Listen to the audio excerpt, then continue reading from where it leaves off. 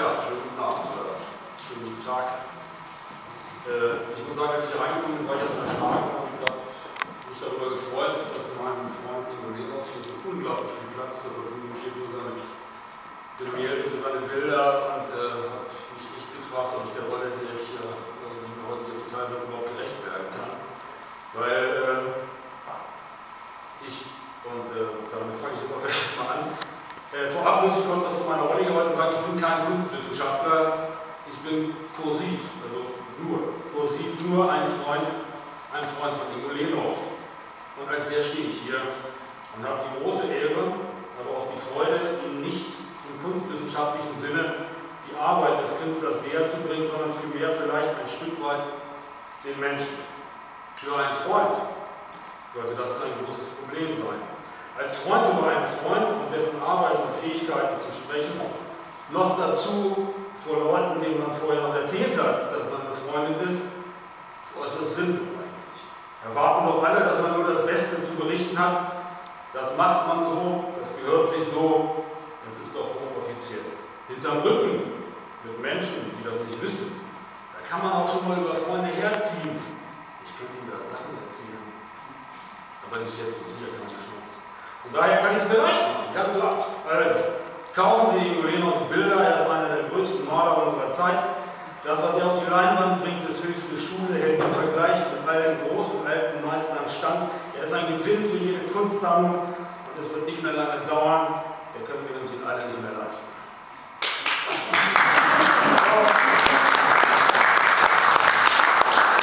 Fertig.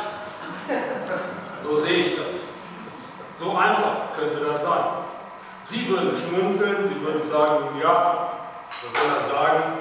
Er hat von Kunst nicht viel Ahnung und der Lehnhoff ist halt sein Freund. Tja, theoretisch könnte ich das so machen. Praktisch kann ich das aber nicht. Denn er ist hier. Der Künstler ist anwesend. Und ich weiß, es wird ihm äußerst unangenehm, in solch plumper Art und Weise präsentiert zu werden. Für solche Auftritte ist er nicht zu haben. Er ist dafür viel zu selbstkritisch und viel zu bescheiden und viel zu zurückhaltend. Aber auch das er nicht hören. Sie merken schon, so einfach ist das nicht. Ruhestörung, ich glaube, im Moment fühlt er sich gar nicht wohl und seine Ruhe extrem gestört. Mich. Aber er hat mich gefragt und darum ist er da durch. Und Sie auch. Ingo Lenhoff malt nicht fürs Publikum, nicht für den großen Auftritt, nicht für das eigene Ego, nicht für die eigene Präsenz. Ingo Lenhoff malt, weil er nicht anders kann. Und vor allem, er malt, was er will im positivsten Sinne. Er malt, was ihn interessiert und was ihn reizt. Künstlerisch auch wie auch menschlich. Oft, wenn wir in seinem Atelier stehen, steht nicht erst mir und dann ihm die Frage, wer soll das wohin hängen? Ich stelle ihm diese Frage, ich glaube, ich darf das. Er stellt sich diese Frage nicht. Er weiß, es muss ihm egal sein. Würde er Kunst und Kommerz zu sehr vermengen, würde er nicht mehr malen, was er malt. Er malt Menschen in Strumpfhosen.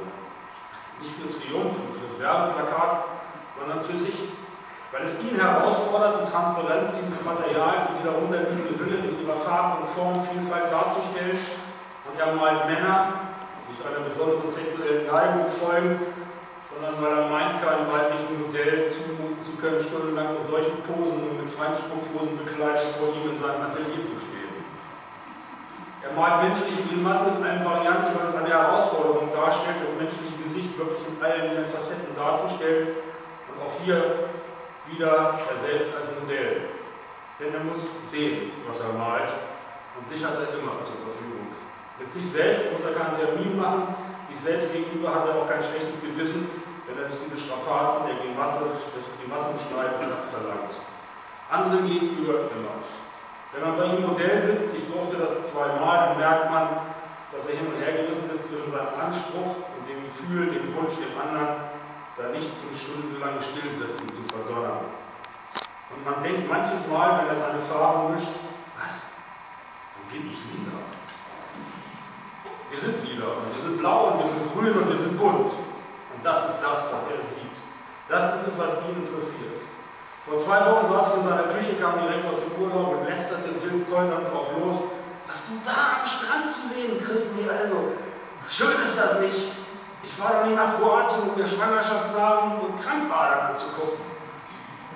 Da hatte ich den Eindruck, als würden seine Augen kurz aufblitzen. Ja, du, du siehst die ganzen Menschen, denen vielleicht vielleicht hässliche Menschen, ich sehe das Detail. Das schimmernde Blau, Schwarz, der Kampfader hat auch was Schönes.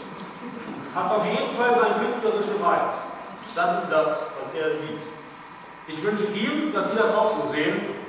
Hoffe, dass Sie durch meinen kleinen Einblick in das Leben von Ingo Lehnhoff gewonnen haben und hoffe vor allem, dass ich dadurch verloren habe.